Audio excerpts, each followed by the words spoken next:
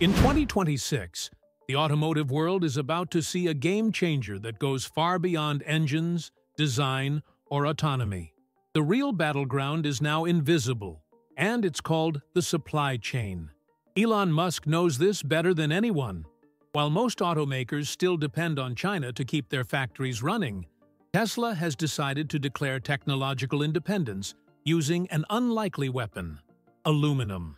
It seems simple, but this abundant metal is about to break the monopoly China has carefully built over decades.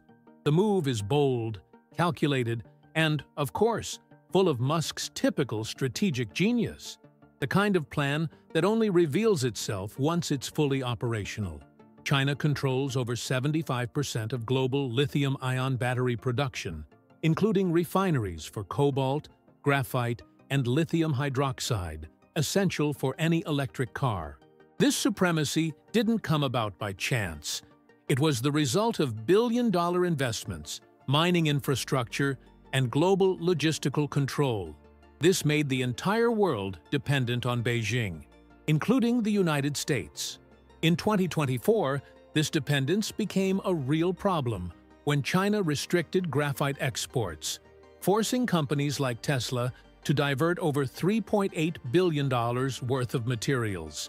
And that's when aluminum began to shine like a secret letter.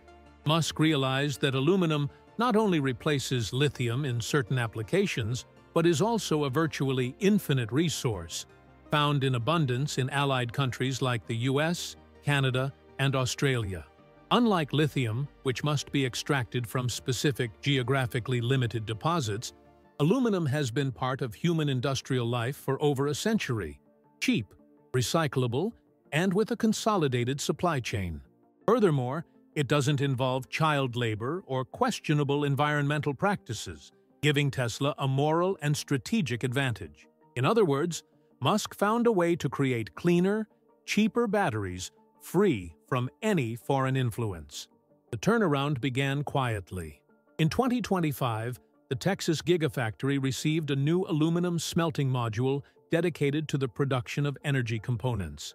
What seemed like just another factory expansion actually hid Tesla's preparation for its next leap. Total mastery of the smelting process all the way to the energy cell. The company began to control the purity of the aluminum, the oxide structure, and even the composition of the alloys used in batteries. This vertical integration is what transforms aluminum into a weapon. Not a poetic metaphor, but a real offensive in the war for energy sovereignty. Tesla engineers say the secret lies in extreme purity. Even small impurities can reduce the performance of the new aluminum-ion cells, so controlling the process internally is crucial. While competitors still rely on Chinese suppliers for industrial aluminum, Tesla has begun smelting its own metal on American soil, within its own factory. This means that every gram of aluminum used in its batteries has a traceable origin and meets Musk's performance standards. It's self-sufficiency that borders on military grade, and not by chance. In practice, what Tesla is building is a technological shield. Whereas previously a political shift in Beijing could paralyze the global electric vehicle industry, Tesla can now continue production even amid embargoes or trade crises. And there's something almost provocative about this. A real Made in America not just a marketing hype. Musk is essentially telling the world that if lithium is used as an economic weapon, he has the antidote ready, and that antidote is called aluminum. Most drivers don't realize it, but there's a silent problem with modern electric cars. They charge quickly, but deliver power as if they had the handbrake on. It's as if the car is in a hurry to fill up, but too lazy to accelerate. This common frustration especially when trying to pass or climb a hill with a full car, has a technical explanation. Lithium-ion batteries simply can't release all their energy quickly and sustainably. And that's where Tesla's 2026 aluminum-ion battery comes in as a true discharge monster. No exaggeration. The heart of the innovation lies in three words that may sound technical, but change everything. Triple flow aluminum. Unlike lithium, where ions must walk along narrow paths, aluminum travels in multiple lanes at once. It's like leaving a one-way street and entering a three-lane expressway. This drastically reduces the cell's internal resistance and allows energy to flow more powerfully, faster, and without heating the system like an oven. The result?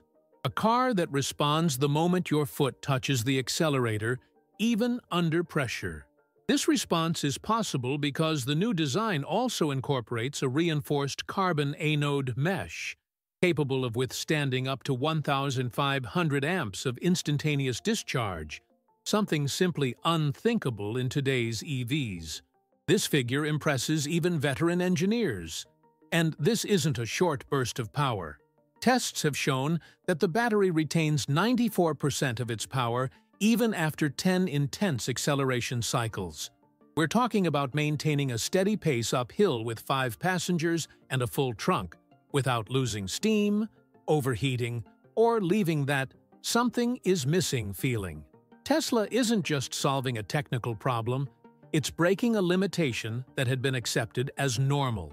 Electric cars have always been associated with the idea of lightning-fast acceleration, but in practice, this only happens under ideal conditions and for a few seconds. After that, the system reduces power delivery to protect the battery, the famous heat protection mode.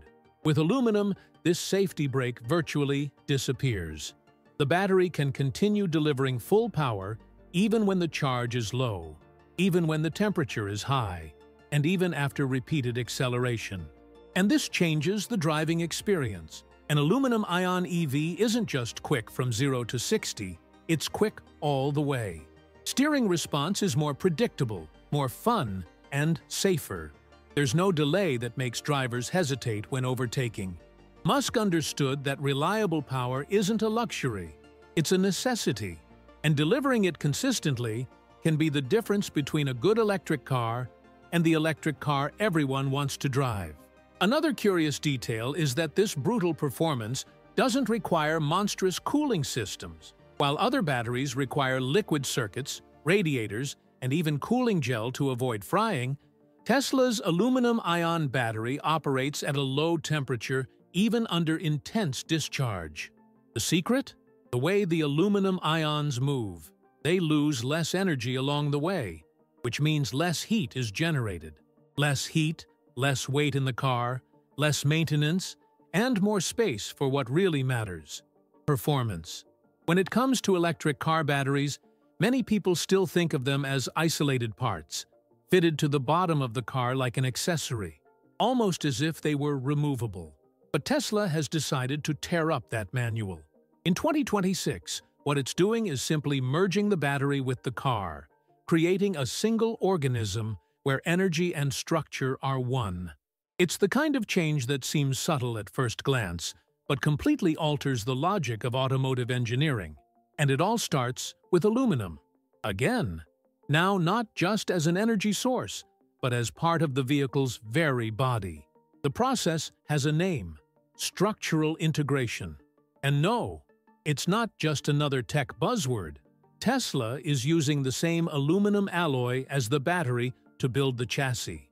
Only, instead of assembling everything in separate parts with screws, glue, and brackets, it uses the infamous Giga Press to fuse everything into a single piece. No exaggeration, there's no such thing as putting the battery in the car anymore. The car is born with the battery inside. It's like an energy skeleton, an innovation that eliminates more than 400 parts from traditional assembly and makes the production line incredibly fast and efficient. And here comes something Musk loves to do, make the car virtually impossible to copy. Because by combining chemistry and structure, Tesla created a kind of fused trade secret. If a competitor wants to replicate this technology, it's not enough to simply copy the battery cell. They'll need to master high-pressure casting, materials engineering, thermal software, and even restructure the entire factory logic. It's a kind of invisible force field that protects Tesla's progress, while simultaneously speeding up production, reducing vehicle weight, and improving safety. The practical impact of this car battery fusion is more profound than it seems.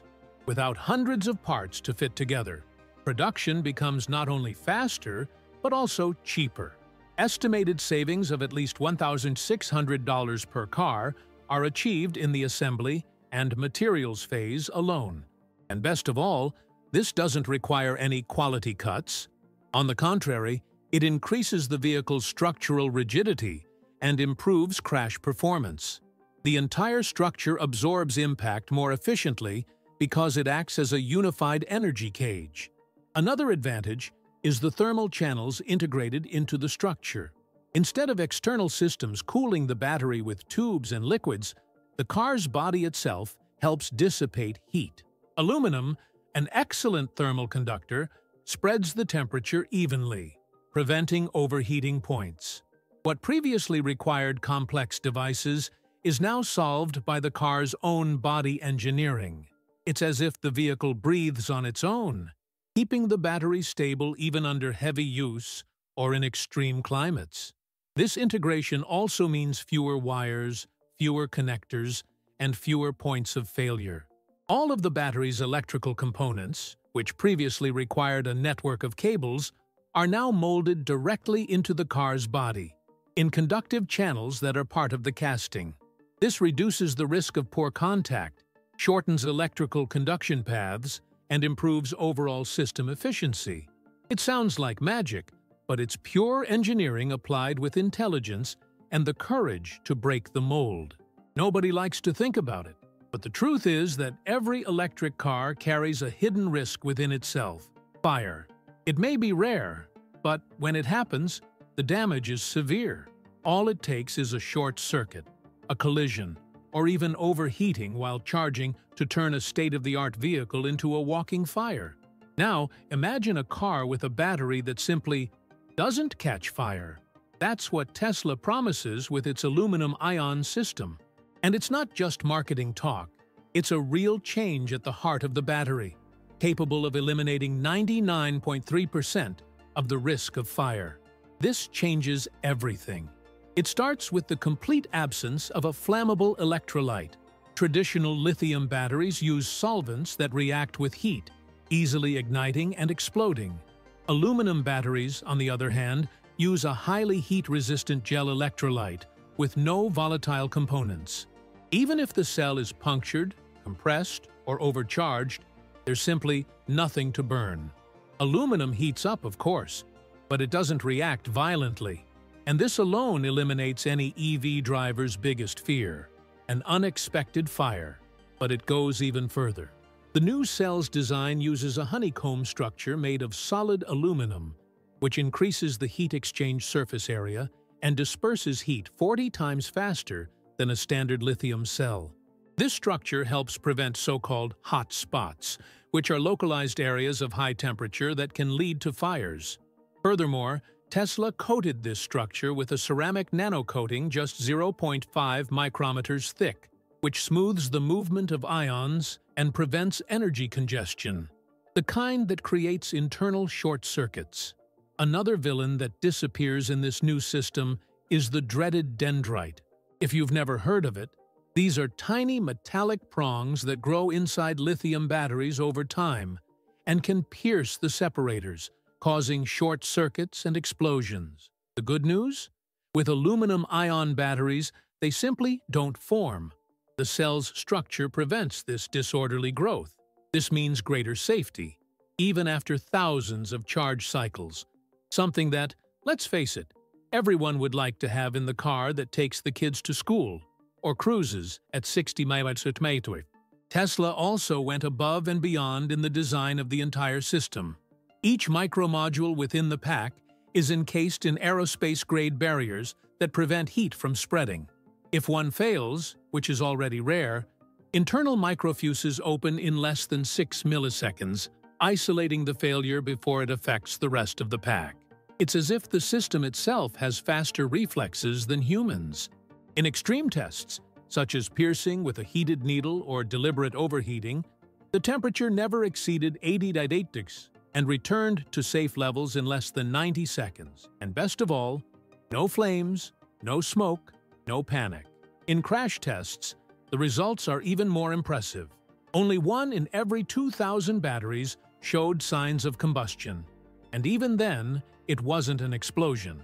Compared to the 2.5% risk in lithium batteries, this is a huge difference. The aluminum cell heats up to a maximum of 80 Drenaux even when destroyed.